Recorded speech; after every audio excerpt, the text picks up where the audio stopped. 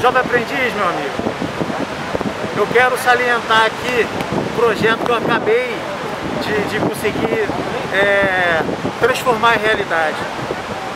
que foi absorver os 3 milhões da merenda que não foi utilizado no ano passado, aderindo a um kit alimentação para as crianças, que no meio dessa pandemia, muitas delas não têm nem o que comer. Consegui, fui o primeiro a, a fazer o PL pedindo compra de vacina, consegui, lutei por volta às aulas seguras, é, regulamentada pela OMS, OMS, desculpa,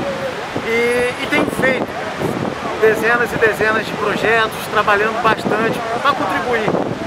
para a minha cidade, para o nosso bairro, para as nossas pessoas. Mas a dificuldade é muito grande pelo momento que a gente vive, o momento econômico que a gente passa é muito delicado, não só em Cabo Frio, é, a, a, economia sofre com a pandemia, a pandemia vem, encolhe a nossa, nossa economia. Tem muita gente passando fome, sem emprego, com dificuldade financeira, muita gente morrendo nos hospitais, isso é verdade, mas a gente tem lutado para trazer vacina, para dar dignidade às pessoas